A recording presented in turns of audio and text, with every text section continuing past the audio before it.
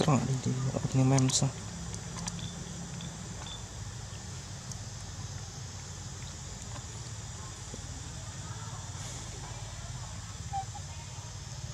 អ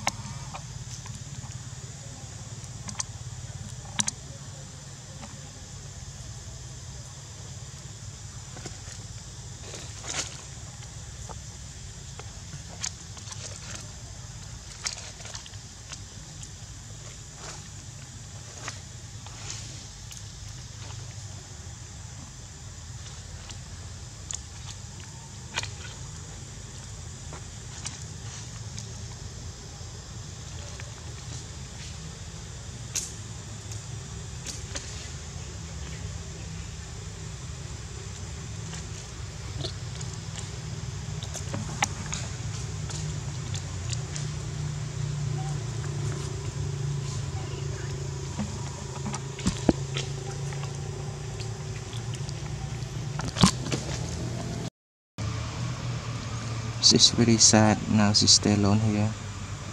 after mom rejected the meal for her